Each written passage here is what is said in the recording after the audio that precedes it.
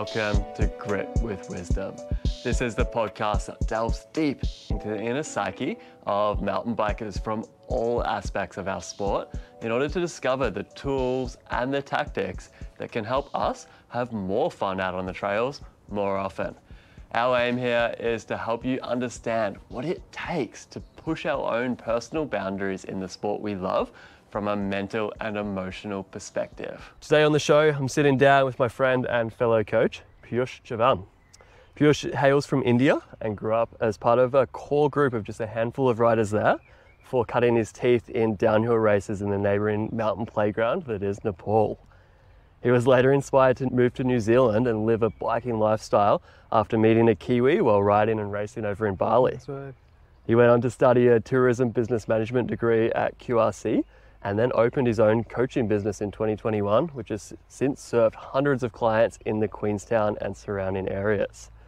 Super excited to be sitting down with Piyush today because, along with being an absolute weapon on the bike, he's also a man with substantial depth and has spent a significant amount of time off the bike learning about himself through meditation retreats, yoga, mindfulness practices that he also incorporates in his riding and coaching practices today. Man, no further ado, welcome to the show. Thanks, mate, and thanks for the amazing intro. It's been great. How was that? Did I miss anything there? Uh, no, I think you covered everything, and I was quite impressed how how you well you described all of it. Yeah, Yeah. it sounds like you've been listening well to all the conversations we've been having, so that's good. Fantastic. Yeah, man. Like we were saying, we've had so many good chats already, kind of driving around in the van, doing the coaching together. Super excited to sit down and record some of that wisdom here today. Yeah. I think it would be really cool to, to start off right back at the start. Like, Cool. you grew up in India. What was that like? And when did bikes first come into your life? Well, growing up in India was um, pretty normal for the first half, I'd say. Um, basic schooling and everything. Um, there was quite a bit of like Hindu philosophy involved. Like growing up through school, there's quite a bit of that um, put in um, through school and everything. That where we do yoga first thing in the morning and whatnot, and lot, lots of meditation throughout throughout our curriculum and all of that stuff. Um, as soon as so to turn it back a little bit on how I exactly got into biking in India is uh, I think it's because of my mom because she is quite a bit of a daredevil herself and she's made, she used to do a bit of off road, so she would always encourage me to do some adventurous stuff and take me out trekking and all of that. And um, initially, I got into skateboarding after playing uh, Tony Hawk Pro Skater 2 on PlayStation. Oh, fantastic. And I was Yeah. like, oh, skateboarding sounds good because that sort of matched the kind of adventure I wanted out of a sport. And I got into skateboarding.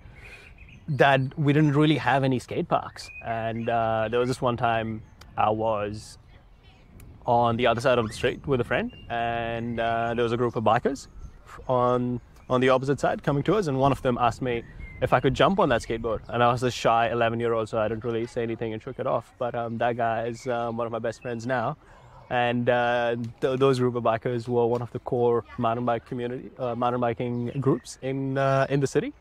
And um, later on, I started like exploring on my bike and I ended up meeting them and riding with them, and found out that oh, there's there's like these five or ten guys that ride mountain bikes in this entire city. And later we found out that they they are only one of the two or three groups in the entire country as well that were riding bikes by then. So it's a bit of like a meant to happen sort of thing of how I got into mountain biking. And then from then on, it was it was just a cycle of me riding my bike, like, you know, trying to sometimes bunk school and head out in the hills and just ride trails by myself and whatnot. Wow. Yeah. That's such a cool backstory.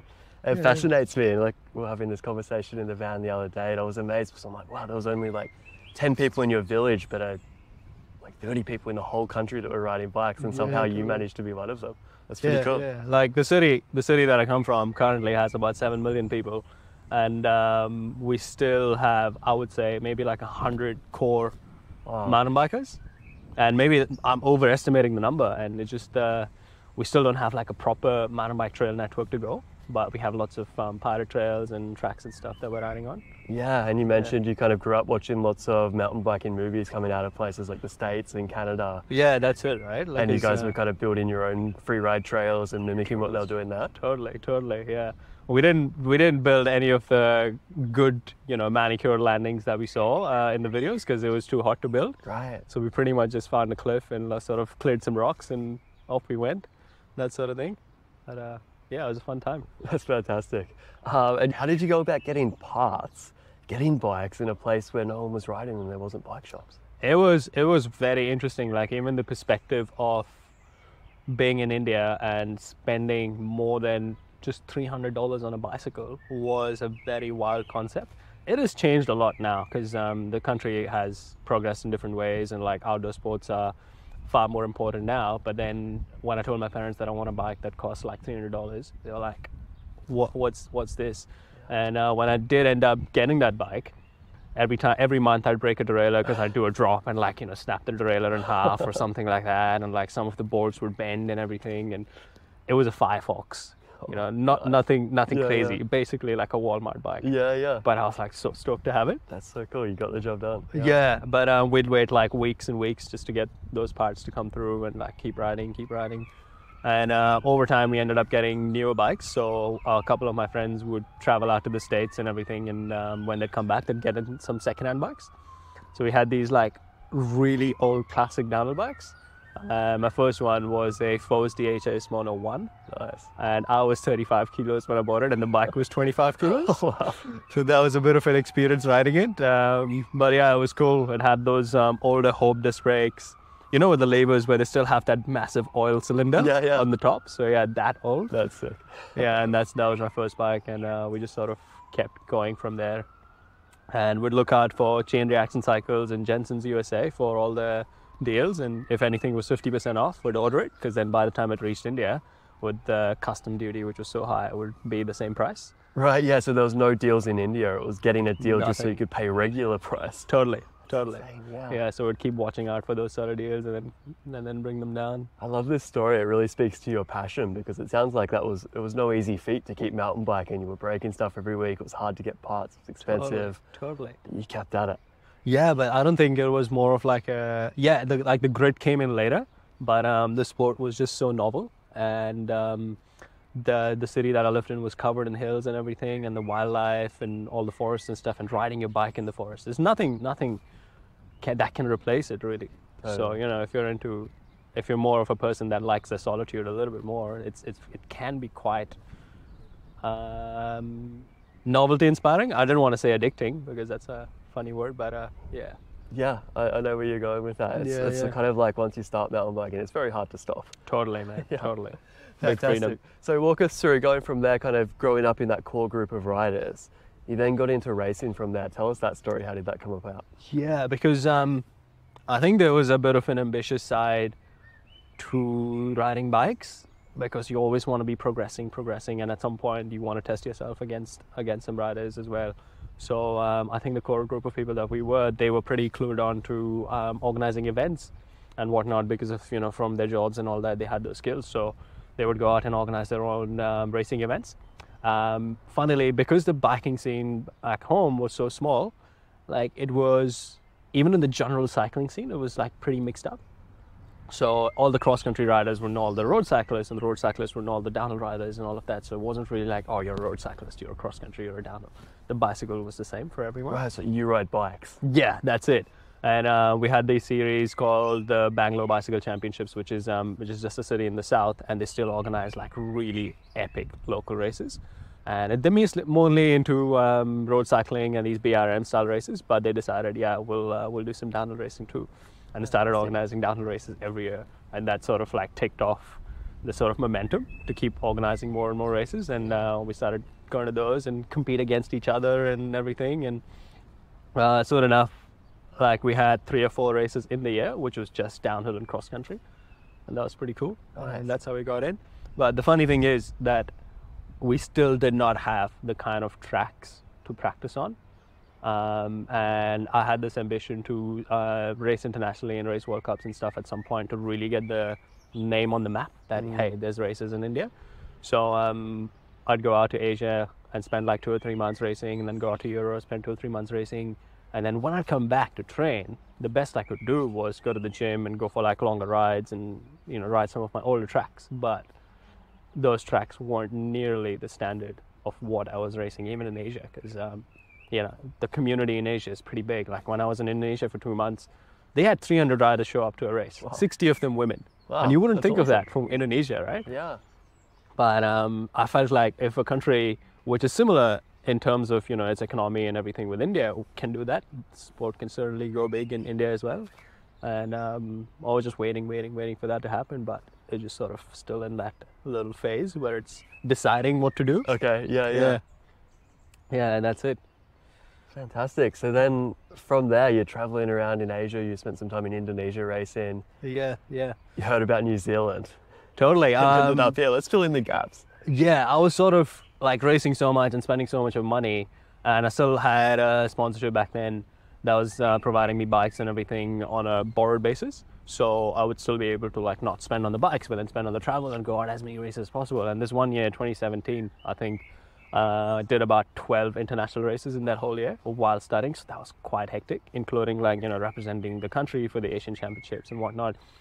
Um, but I felt that hey, where I'm coming from did not really do justice, and I was thinking, oh, maybe I should move somewhere. Um, so towards the end of my Indonesian trip, I was like, oh, I've got to make a decision this year of what I want to do. And I met this uh, Kiwi lad, James, and he just told me that hey, I think uh, I was telling him, oh, I probably should go to Australia to um, maybe study at this uni. They've got some backpacks there. And he's like, nah, nah, nah, you got to go to Queenstown. And I hadn't even heard about Queenstown. Um, I just knew Rotorua in New Zealand. Like Okay. I wouldn't even think of New Zealand as like a place I needed to go. Yeah. And uh, that same day, he's like, "Oh, just come over for dinner and uh, we'll chat about it." I was like, "Oh, I just met this guy. He seems pretty keen." Yeah. And I went over and we just chatted for like three hours. He gave me the whole full rundown about how my life would look in Queenstown, including where I would be working, where I could study, and all of that stuff. And I was like, "Okay, cool, man. I think uh, this is pretty good." He's made the decision for me. and then six months later, I just moved here. Uh, decided to study at Queenstown Resort College because that's the only way for us to like get a visa and everything to like stay longer term. And then figured like the adventure tourism course is pretty good. Um, that sort of inlines aligns with what I want to do. Um, and funny thing is, I had a friend back home who uh, has been to New Zealand for studying, and he just returned. And I told him that, hey, I met this guy, and I want to go study at QRC and do this. He's like, bro, I did the same exact course. oh wow. Yeah. go. So I was thinking, oh, this is a sign. I should just go. Yeah. And um, yeah, six months later, I was here. Fantastic. So you didn't mess around in kind of thinking about it at all. It No, like- because like I didn't think they had too many options to begin with, and I feel like the way he described Queenstown was pretty appropriate to the experience I've had in the last five and a half years. So Yeah. yeah, that was good. It's super cool to hear that he was so passionate about it. to like Totally, man. invite you over for dinner, give you the full rundown, and then here you are. Yeah, yeah, yeah. That's it. Yeah, that was a that was a good one for sure. Fantastic, man. I want to get into talking about some mental tools here because I know you've got a, a depth of experience there. Maybe we can start by talking about some of the mindfulness practices uh, that you learnt through growing up in India and then how that's now uh, come around to help you when you're riding the bike. Well, the thing about um, growing up was that it was just a very normal thing for us to um, start our day with um, doing Surya Namaskar, which is sun salutations and everything, and then start with a bit of chanting and whatnot, which I found absolutely unnecessary as growing up. You know, as a teenager, you're pretty rebellious, right? Like you Yeah. wouldn't understand the reason of why these things are there. So the teachers were having you do. Yeah, like everyone, like all the 200 kids or 300 kids in school would just come in, do that thing for the first thing in the morning, and then start the day. And I didn't notice the difference then, but now when I ingrain that same practice in, I can understand how my day goes because I'm a lot more composed and whatnot. And I think um, that's where that stems from. So I'm starting to slowly go back to my roots and understand that, oh, what we did through school, and there's a reason why traditions like these exist and all of that stuff. And I'm linking back to my older roots to find a bit more of uh, balance in my in my current life Yeah. because things do get hectic. Like everyone who's lived in Queenstown can know how overstimulating it can be, and uh, yeah. just to find that balance, um, I'm happy to have a little bit of that mindfulness and meditation background, which Yeah, I can dude. tap into. I find it fascinating because it's pretty much opposite to what we get taught in Western schools and what I get taught in Australia. There's there's none of that. Uh, but I can totally relate on a sense of, you know, quite a lot of the good things we did learn in school. I despised at the time. I didn't want to do. It. Yeah, And then as you become an adult, you're like, oh, perhaps there was some wisdom in that. Perhaps that is a good idea. Hundred percent, and like we think of schools as like unnecessary and all of that stuff when we're teenagers, right? But um, I feel like they shape us, shape our thinking. Like they give us a framework to think, and that's pretty important. Yeah, and perhaps we don't think, don't think we're learning much at the time. Yeah, yeah, And when we're an adult, we can look back to that and be Totally, like, okay, at least that's given me a basis to build upon from here. Totally.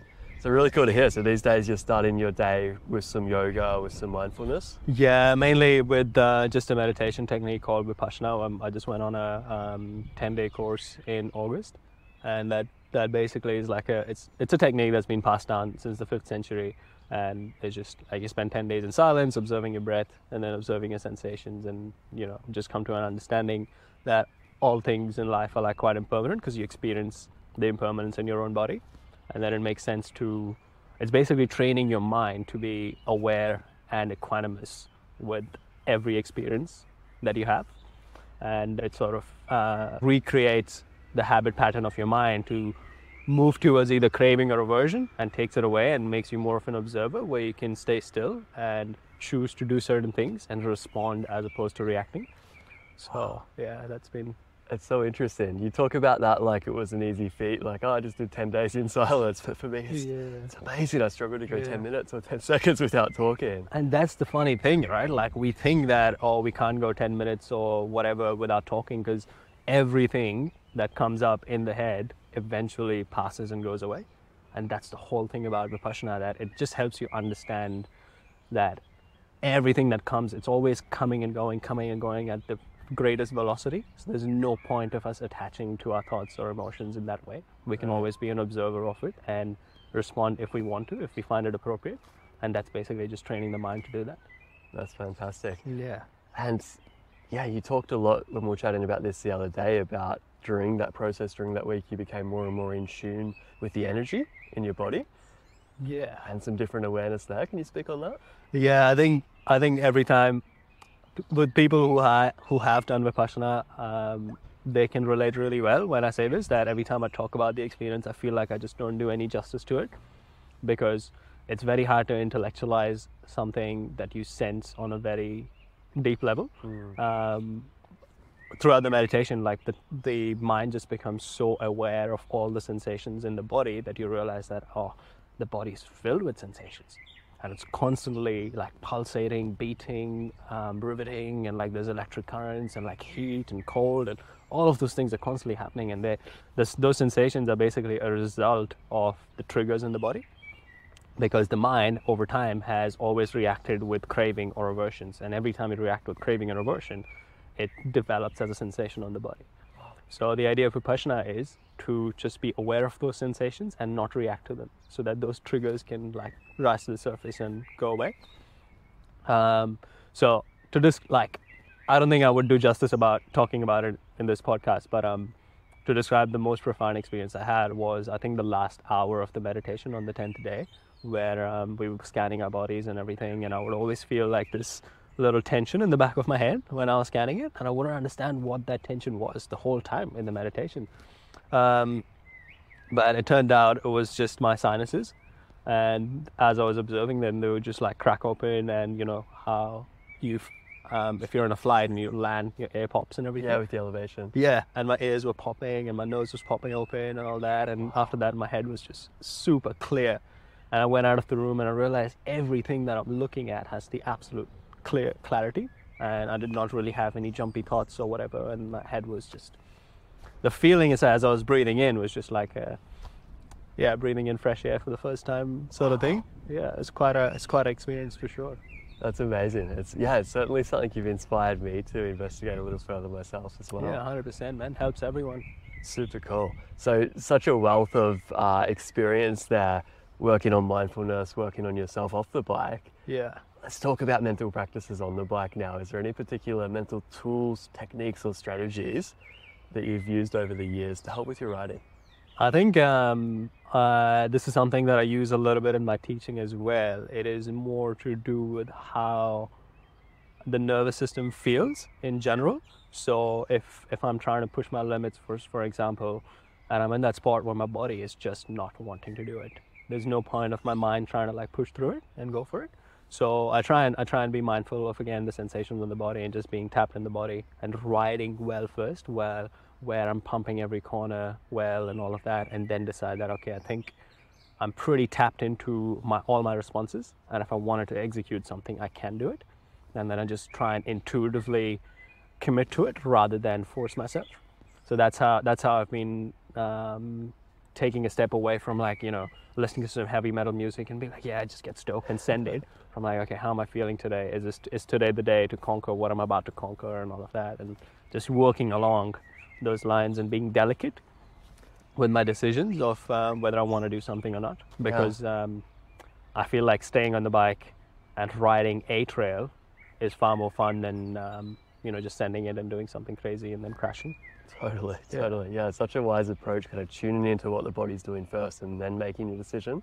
Totally. Yeah. Do you ever have like a, an off day where you're like, oh, I'm just not really feeling it today?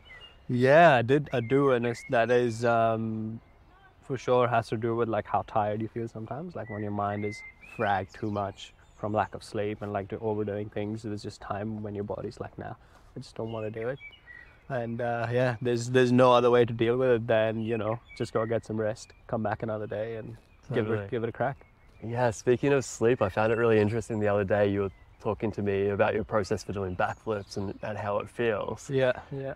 Uh, can you tell tell us the difference between you know what you notice when you're doing a backflip after a night of good sleep when you're feeling sharp, Yeah. and what you've noticed when you're doing a backflip and you perhaps haven't had as much rest as you needed? Well, the biggest thing is that um, when I would try and flip with that with no sleep or like a bad night's sleep, is that I just don't see my rotation whatsoever. I'm just pulling, and then suddenly the landing's there, and I'm landing it.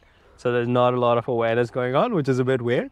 Um, That sounds spooky. yeah, it does sound spooky. And then I'm like, okay, cool. Maybe today is not the day to be doing stuff like this.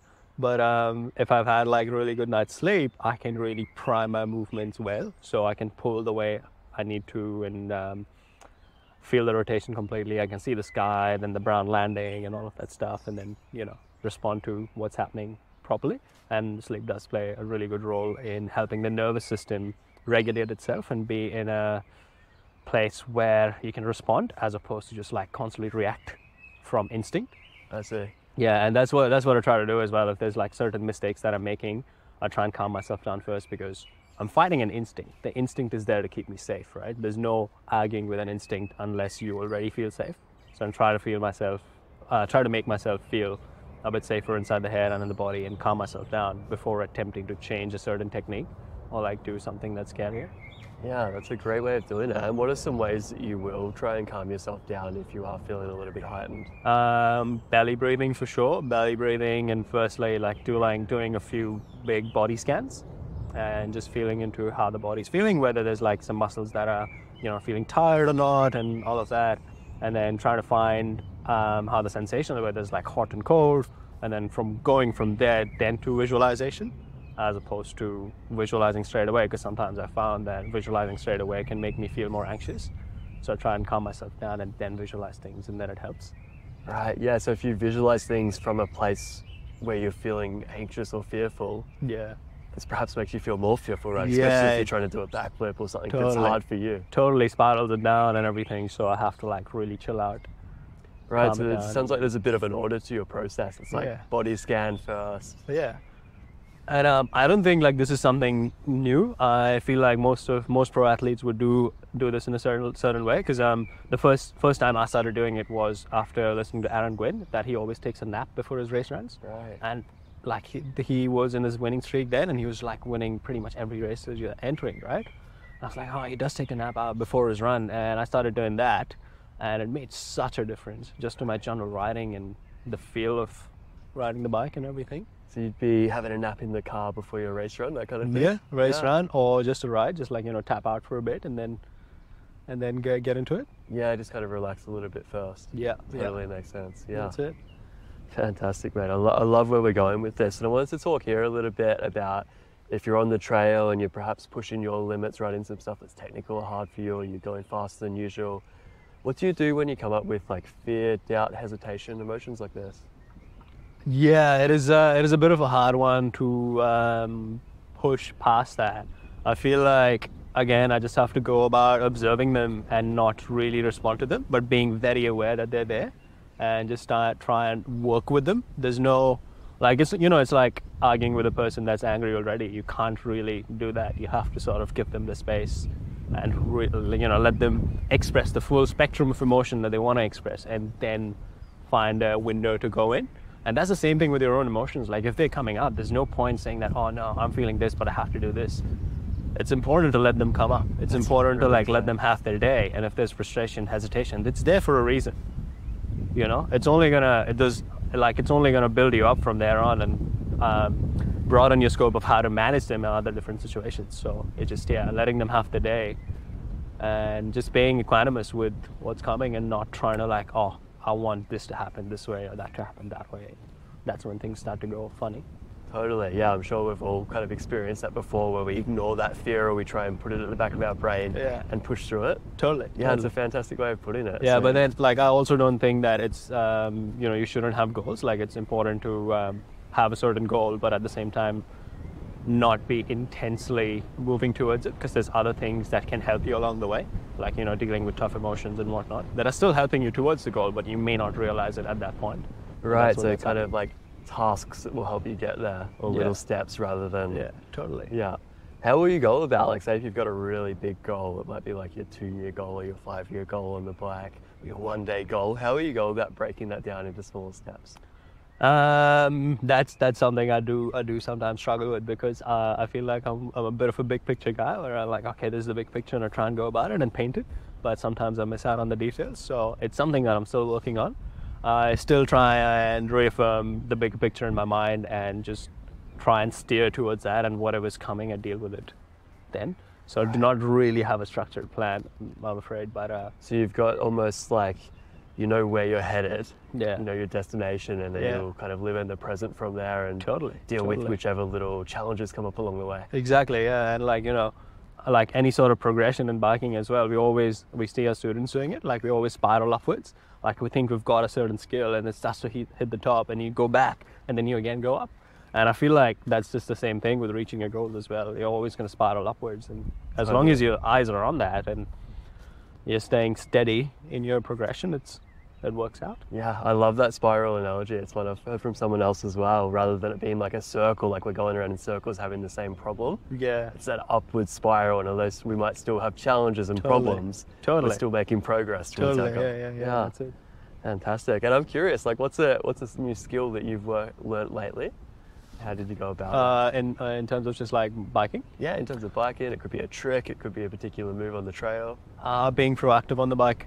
Uh, I've realized that I could uh, bunny hop into things and like stay a little bit more in my default position, where I'm quite stubborn in my um, torso and quite engaged in my torso, but my arms and legs are just fluid and they're moving around.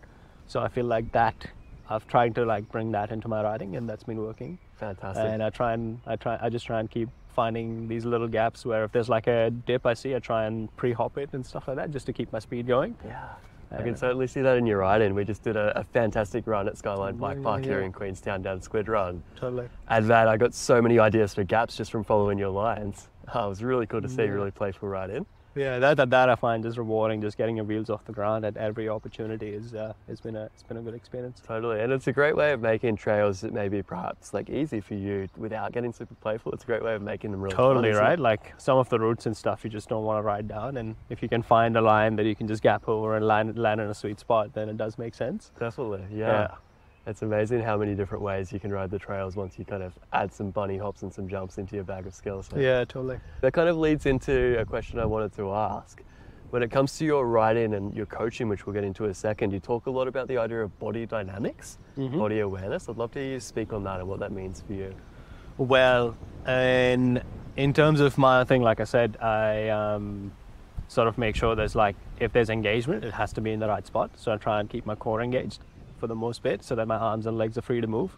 And if you know, like if you notice any of the videos of pro riders, for for example, um, Vinny T, when you see him riding, Yeah. like his torso and head are just like straight.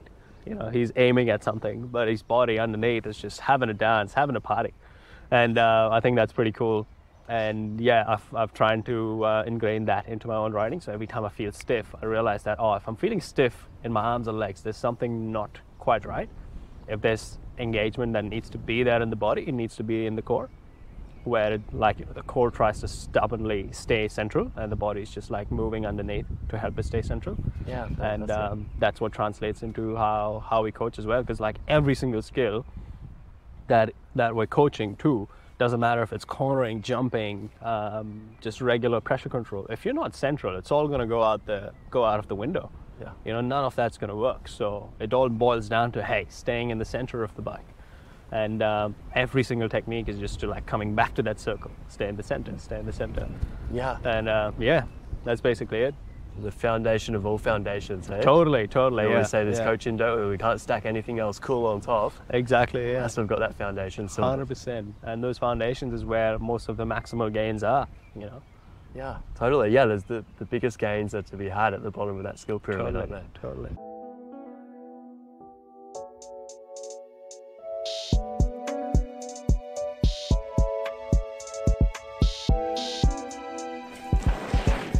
Hello, everyone, and thanks for listening.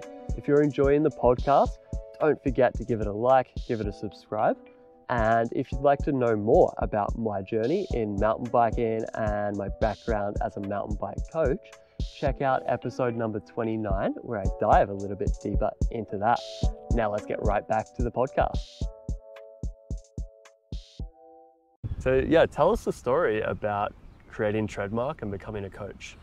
Yeah. Um, well, back home initially. This this starts back home actually because um, I started this uh, company called Indian Shredder because the term Indian Shredder meant an Indian mountain biker, which is a very rare thing. And I was like, all right, we've got to be a little rebellious here and um, and put this out so everyone um, who's ride bikes can just hashtag it on Instagram, hashtag Indian Shredder, Indian Shredder everywhere Awesome. and we started organizing organizing some camps and races. We had like this weekend camp where um, we go to a a resort, and they let us build some tracks there and all that. So we do these educational camps of you know telling people what sort of positions to use and how to use their brakes on like regular mountain bikes.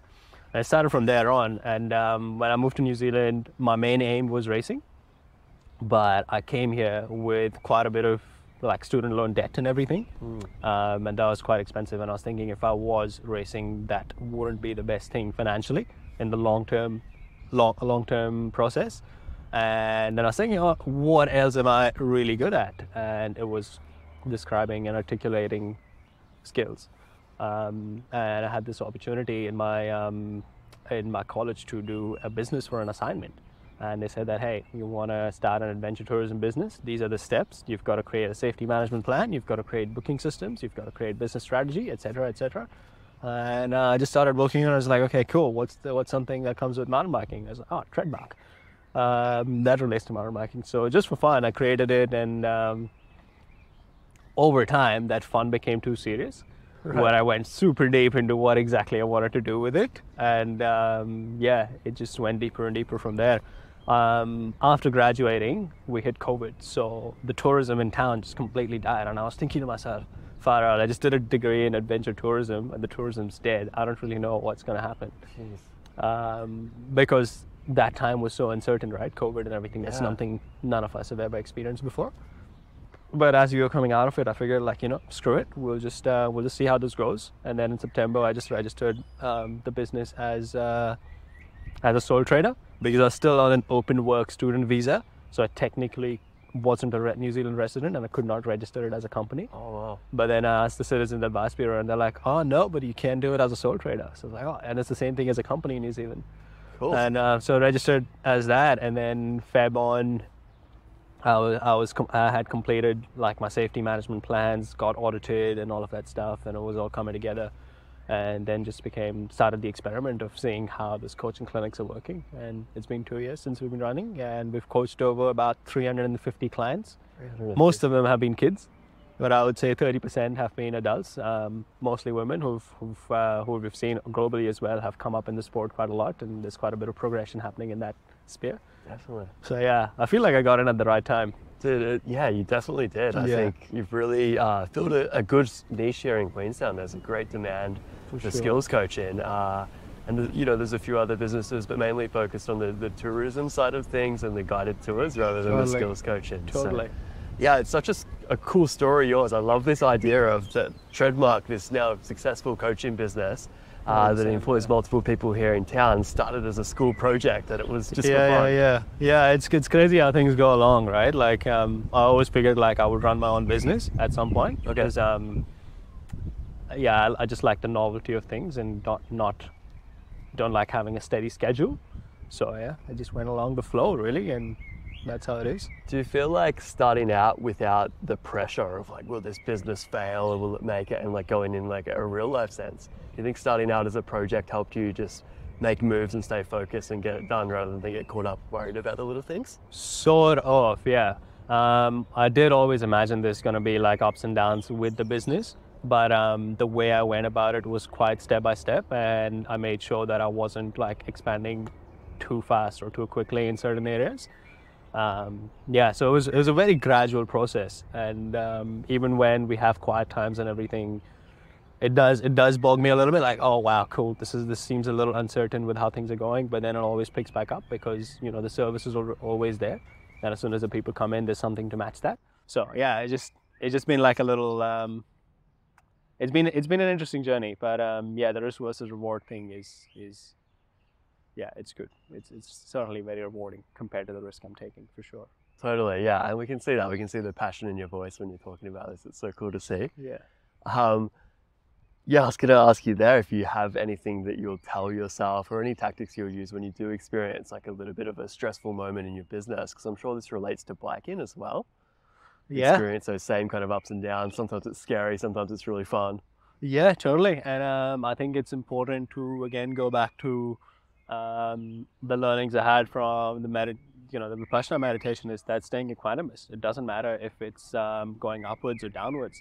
You've got to train the mind to stay steady and aware at the same time because when it's going upwards and you start craving towards it, um, it can, can create a sense of like attachment and you just like sort of wanting to do more and more and more of that because like oh i had a busy season um, last month and i want to make the same thing happen but and you try and go towards those places to make it happen again but because you're so focused on that you might miss out on other sustainable opportunities Right. elsewhere so for me it's been a very good learning to see that all right we had a busy season la- busy busy time last month this month looks a bit different but just being aware of okay cool there is there's a bit of a bit of a dip in sales here but there's also these other opportunities and avenues opening which if i was just focusing on selling you know a certain course over and over again that i would miss out on the other opportunities so it's important to not react again to what's happening with the business and just keep that awareness of that you know um, peripheral awareness of what's happening so i can pick up on things that can help the business Yeah, wow. so that's what I've learned this year, and I think I'm just gonna stick to that and keep my eyes and ears open on what things what things are doing and how trends are forming and all that stuff. yeah, it definitely sounds like you're onto something there. Sorry, we must be sitting at a Ducks playground here. He's not too happy with us. Yeah, yeah, yeah. oh, he's liking the conversation. That's for I think maybe he's cheering you on. What, what I'm really hearing there is that you're yeah not getting distracted by too much noise or perhaps by the cravings of wanting to, things to be different, and instead holding yourself, staying present, and seeing what opportunities there are now. For sure, and like you know, um, if you notice in Queenstown, you, you might have seen this already because there's so many things happening in Queenstown. People want to do stuff; they're here to do stuff, which also means that it is also a bit of a last minute town. Yeah. So all the all the other tourism operators, they've they've they're so um, veteran in this they, that, that they know that people are going to come at some point, and that, that can be last minute. So they consistently stay ready for uh, what's to come, and uh, I'm trying to develop that. It's hard, but I'm yeah, trying to like develop being that. at peace with that, knowing that you might not have income until the Monday before the Tuesday. Yeah, yeah, yeah, totally. So that's been that's been a little interesting, but um, yeah, yeah, Right. it's it's a learning process, right? No, it's it's really cool, dude, seeing what you do. And I'm I'm curious. You're out there coaching. You said over like 350 riders, children and adults. What's one of the most common things that you find yourself teaching out there over and over? Over and over, body dynamics. Body dynamics. They're like, oh, I want to learn how to jump. I want to learn how to corner. But um, most of my clients are like, they either as soon as they reach anything steep or scary, they move away from the bike because as soon as you know you feel scared of something, you will move away from it. And once you do, you're still holding onto your handlebars, but your weight's all the way at at the back. And just uh, just firstly teaching them to bring the weight towards the front and more central um, has been the key thing, and that's been the theme of most lessons. And once that's built in, that's when we go on either cornering or, or jump lessons. So they come in with a goal and be like, okay, cool. To re- in order to reach that goal, we're going to have to um, go back to this foundation here, and then uh, move along that way. Totally. Yeah, that's really cool. It sounds like yeah, putting those building blocks in between their goal and where they are now. Yeah, yeah. Yeah, I really sure. like that. And then like mental skills wise, is there anything that you find yourself often like coaching riders through, helping riders with? Um, just just reminding them that they are, they are going to spiral upwards, and it will certain certain techniques when they're learning they will find them weird because they are fighting their muscle memory, especially with riders who have been riding for a while and they've developed certain techniques that keep them safe. And the body's like, no, this you know squatting on my rear wheel makes me feel safe. Um, standing up a little bit taller makes me feel like I'm going to go over the handlebars, but just helping them uh, tone the environment, like uh, we try and like you know tone the terrain down and helping them understand that oh this is actually far more sustainable, safer, and recreating that safety in a new experience for them in their new position is is a bit of a challenge. So I wouldn't really say there's many mental skills that I add in. I just try and recreate their experience in a safer environment so that it trains their muscle memory to be a bit better and more efficient over time. Yeah, so training them to feel more comfortable Yeah, uh, in that new body position or doing that new skill. totally. totally. Yeah, I like that. that's- It's crazy when to think about it, isn't it? I find this often when we change something as little as like a client's foot pedal position or something like this. Yeah. It can feel really weird and all of a sudden everything's feeling off for them. When we think about it, if we've been riding for a couple of years, we've probably put our foot on the pedal 10 million times. Yeah, yeah, exactly. So to go and retrain that, it's going to take repetition. Hundred percent, hundred percent, and uh, yeah, it's just basically like like with anything, if you've developed bad habits, when you relearn something, it is going to feel different and um, quite often awkward.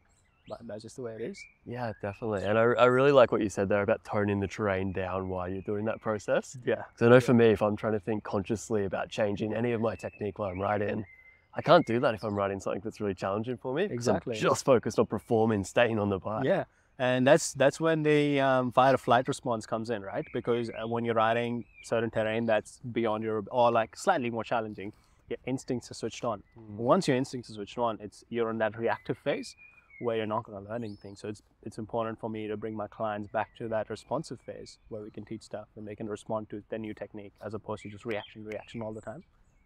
Yeah, fantastic. and I know, yeah, you're, you're lucky you see riders uh, with a whole breadth of different skill sets from like first day on a bike even to being riding for, for 10 years plus. Across the board there, in your opinion, like why should everyone come and get a mountain bike lesson?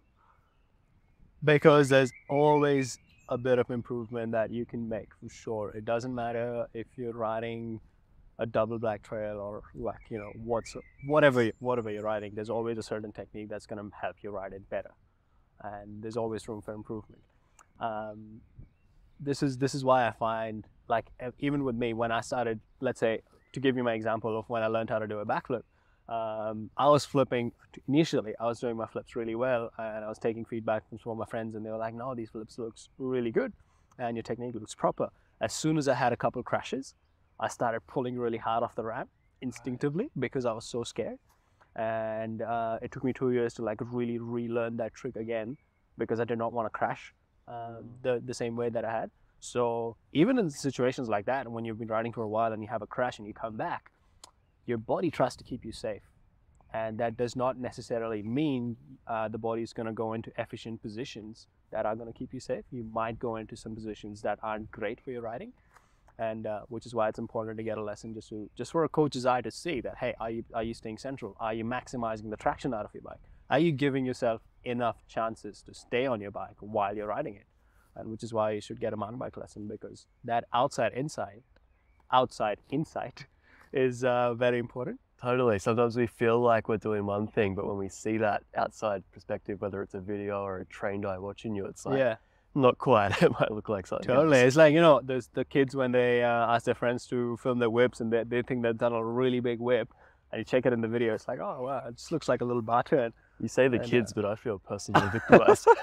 yeah, I mean, it happens to everyone, right? No, Like, it does. Quite often, I even think like, "Oh, my body position's on and then someone will film me, and I'm like, "Oh, not quite. There's something we can tweak there." Hundred percent, hundred percent. So, is that outside perspective is quite um quite essential in that instance. Yeah, I, I love that that outside perspective, but I think also knowing what to do with that perspective, so having the right feedback to go along with it. Totally. Other Totally. than otherwise, it's like, "Oh, this doesn't quite look right." But what should we do about it? Yeah, yeah, for sure. Really cool, For man. sure. Really cool. So you're out there teaching students all kinds of things. I always like to ask the question: Is there anything you've ever learned from a student? Um, I've learned that the same approach doesn't work for everyone. there's uh, there's different people learn differently, and um, it's important to first understand how the people are learning, and that usually happens in a couple lessons. With private lessons, I think it happens quite quickly because you're spending a lot of time focused on them. And uh, yeah, lots of new students have taught me that that yes, I know what I need to get them. Like I have a have a picture of yeah, their body position needs to look like this. But the approach that I use to get them there has been different every single time. And with some people it can be the same. With some people it has to be changed according and you know, sort of boutiqued according to uh, where they're at and how they take in the information. Totally. Yeah, it's always fascinating, isn't it? Trying to Yeah. figure out what our learning styles are in particular Totally. situations, and then people we're coaching as well. Some people are visual. Some people really like to think about it. 100%. Some people Yeah. perhaps, yeah, like watching you. Um, awesome. So I want to know, coaching kids versus coaching adults. What are some of the main differences you find? Um, definitely far more repetition with kids, um, which is great for business, I guess, because uh, like when we do term programs, uh, I've noticed over the over the few years that we've done them now, it takes at least at least three. I think three is a sweet number. Three to four term programs um, for the kids to be at a point where they're really riding intuitively and riding with composure, because that's what I'd aim for in any of my lessons. Um, that's mainly because the kids have a lot of energy, right? And they do, they haven't developed too much of those analytical skills just yet, as as like an adult does, and they just Mm. want to keep going, going, going. And um, so it's important to mix a bit of mix a lot of riding with a bit of like, hey, um, do you know how it feels to you know point your point your hips to the sky and you feel like you're hovering over the front on the bike, and sort of help them feel the technique as opposed to analyzing and analytically telling them. So sometimes we'll just spend like about 15 to 20 minutes doing, uh, you know, static stand and helping them feel that body position or technique and uh, applying it on the trail. So I feel like they learn a bit more on an experiential level. Adults, on the other hand, there's quite a few questions. There's quite a few analyzing, especially if you know if some, some you meet sometimes intel- intelligent clients hmm. and they really like to think it through. And sometimes they can overthink it as well. So yeah, just breaking the technique down heaps more and discussing, discussing, and then also finding opportunities to apply to that experience. And then when they make the make the connection of the intellectualized aspect of the technique and the experience of the technique, that's when they make progress. And yeah, it's always like that. Oh, we know what needs to happen. We just need to make make it happen for this guy, and then this Yes. guy, and the next. Yeah, and you touched on there kind of two aspects of your process for coaching a client, starting with the body dynamics, ending with composure. Can you walk us through the other steps you've got there? Yeah, because we have a bigger picture in the mind. Like all the coaches and stuff um, know that hey, the riders need to look composed when they're riding, and we know that uh, once they've learned the technique, we just need to make sure the technique is primed enough so that it comes on fluidly and they look fluid on their bike. And uh, yeah, so I, I feel like it takes at least two or three term, after-school term programs, which is about 24 weeks of um, riding with us for, for the kids to really be at a spot where their riding is intuitive, and that's that's what the goal is. So yeah, it's been there. Um, with adults, the progression obviously can be quite quick because you can go so much deeper into the technique. You can analyze so many things, and with adults, the process is to really connect the analytical, um, intellectualized aspect of the technique to the experience of the technique. And once that connection is made, the progression just keeps keeps happening. So at every step, we try and do that. Whether whether it's just learning how to tip their bike in into the corners, as opposed to you know finding far more traction with you know twisting the hips or like doing a bit of pressure control and brake control through the corners. So yeah, it's just, it's just the same process that applies to all of those aspects as they're going along in their riding journey. Yeah, I love that. Yeah, really intuitive kind of step by step process you've laid out. Hundred percent, hundred percent. Like you can't really push someone to do something when uh, they're unable, or like you know you can't introduce bike body separation if they're already shaky on the bike, and uh, it just yeah, you just got to stabilize their position first and then jump into that. For sure, one step at a time, and it's definitely yeah important to pay attention to the order of those steps. Hundred percent, hundred percent. I like that. I wanted to ask here if you've got any techniques or strategies or things you do to avoid fear after, say, a crash or a setback. I know it's a pretty common thing that people will come across in mountain biking.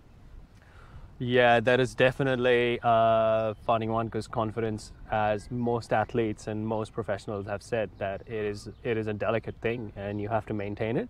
So best thing would be to first avoid the crash.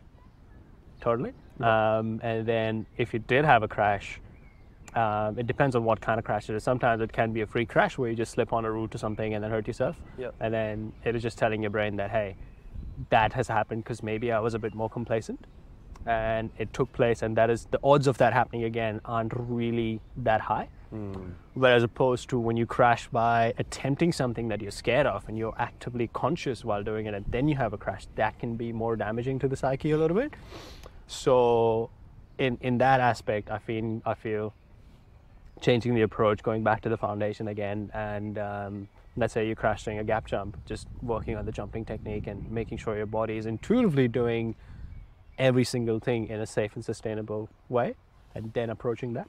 So it, it takes a bit of time and uh, yeah it just like once the confidence takes a hit just like taking it nice and easy nice and easy to build it back up to a point where it feels natural where you feel like you've already overcome that fear before you do it and uh, that's that's where i'm at really yeah that's how i deal with it Yeah, I love that. So really following that process until it's almost like not an issue anymore. Hundred percent, hundred percent, yeah, hundred percent for sure. Until the point where, like, you know, I crashed a couple of times doing back ease to dirt. Uh, the first time I under rotated and like, you know, went straight on straight on my face. That wasn't great. Nice. The second time I over rotated, let go of the bike, and did splits on the landing. Oh, So yeah, that was that was really bad as well. So um, just trying to find the middle ground has been quite intense, and uh, I just had to go back and do as many flips as possible and like really do them when I'm present on the bike.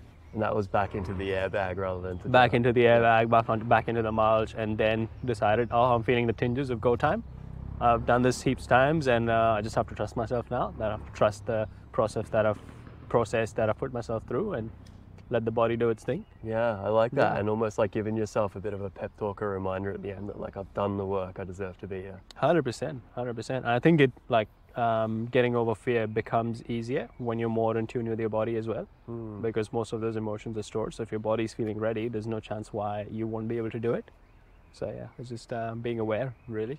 Yeah, being aware and I think accepting where you're at as well, 100%, as yeah. opposed to like getting caught up with where you used to be or where you want to be. Just be like, this is where I'm at. This is what I need to do. Totally, yeah. Taking a step at a time, right? Yeah. That's that's the way it is. We're gonna start winding things down here. This has been a fantastic conversation. Cool. The Yeah. question I always like to ask is, who do you look up to in the mountain biking world? Uh, the first thought that comes to my mind would be uh, Connor McFarlane.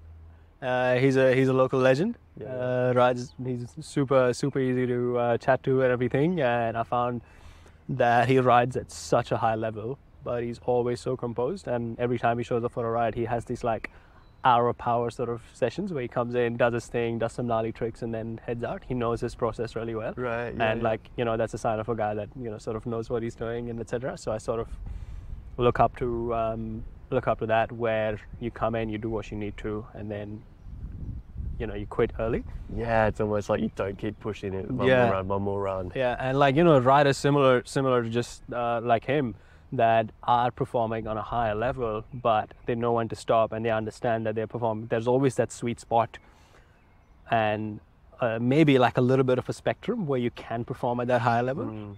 And then you have to sort of be like okay cool my energy's not there right now. And uh, these tricks demand that level of attention which i don't have. And it's important to be like okay cool i need to call it go home get some rest come back another day.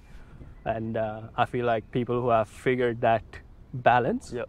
that's that's that's the most rewarding thing because you can still ride your bike every single day. You can do like gnarly stuff every single day but avoid crashing because you are working within the speed spot of that attention spectrum if that makes sense. Yeah, so yeah, so like realizing where you work best, under what conditions, and then performing within that. totally uh, even every time when i ride my bike and it might look like it's loose or anything but there's barely any instance where i feel like i'm scaring myself.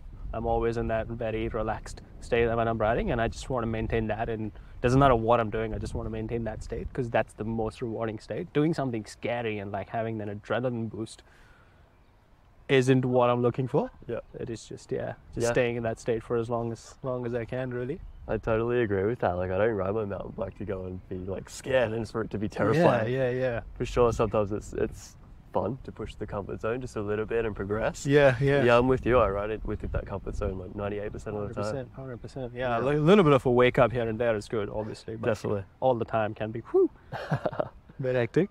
For sure, mate. Wanted to give you the opportunity here. Have you got any partners, anyone helping you out in the mountain bike world, business wise, that you wanted to mention? Um, yeah, we've got um, Andres Bike Studio. He's a good he's a good friend of mine, and uh, he's just started his own workshop. Super talented and really has a very steady process of. Um, doesn't matter if he's doing servicing suspension or servicing bikes. He just really knows what he's doing and cracks onto the job, and gets it done. And I always think like he goes over and above and beyond with what he does. So I'd like to mention him.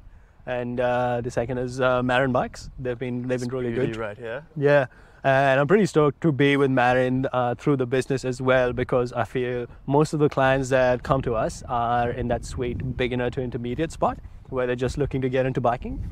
And Marin's pricing range has been very appropriate in terms of being beginner friendly. And I feel like there was there was just like alignment of hey, we've got so many beginners that come to us, and now they've got these amazing bikes that they can purchase and still and these really quality bikes with quality components they can purchase at a decent price and still get Mhm. out and ride Yeah, they definitely represent a really good value for money, I think. fully. And uh, yeah, that just that just came along, so I'm, I'm glad to be representing them right now. Really cool. Fantastic, man. And where can people find you, find Treadmark, and follow along with your adventures online? Yeah, well, on Instagram we are Treadmark NZ, Treadmark New Zealand, and um, yeah, website just treadmark.co.nz, and that's basically it. We we keep posting a lot of. We're very active on Instagram, really. Um, yeah, and you'll find all our courses and all our tips and tricks and whatnot there. Our favorite coaching spots in Queenstown would be Seven Mile, Coronet Peak, Cardrona Alpine Resort, and my personal favorite would be the Wynyard Jump Park because um, that's just the most exciting place in my opinion. Yeah, that's Yeah. fantastic. Access to yeah all kinds of wonderful coaching facilities. Totally, here. totally. Cannot believe that in the middle of summer, Queenstown has two lift access bike parks and you know um, a whole array of beech forest trails and alpine trails and jump tracks to ride with. So it's definitely a, definitely a blessing to be here. Yeah, great variety. And speaking of 100%. variety, we've talked about all kinds of things in this podcast. If you could give the listeners just one little thing to take away with them, what would it be? Take away with them. Uh, yeah. Oh wow, this is a hard one because we spoke about so many things. But um, I think my mind comes back to uh, the mindfulness aspect. If there is a chance to bring in a bit of meditation and mindfulness, it has very good ripple effects on the riding. Um, before I even started meditating um, intensely, I would do yoga, and the whole mind-body connection is definitely a thing. And the way it translates on the bike, I've seen major improvements in how I approach things on the bike. So yeah, either yoga or mindfulness, whatever floats your boat. But an element of that, it certainly helps. Fantastic, man. Well, thank you so much for taking the time. Cheers, mate. here Thanks for having me. This was great. First podcast. What's up, guys? Just one more thing before you hit the trails.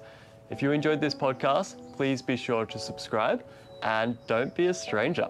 I'd love to hear from you about any topics or any particular episodes that you enjoyed, and even about any guests that you'd like to hear me have on the show in the future.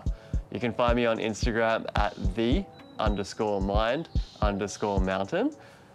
This podcast, mountain biking, and mindset are all things that are very close to my heart. So I feel super grateful to be able to share these conversations with you.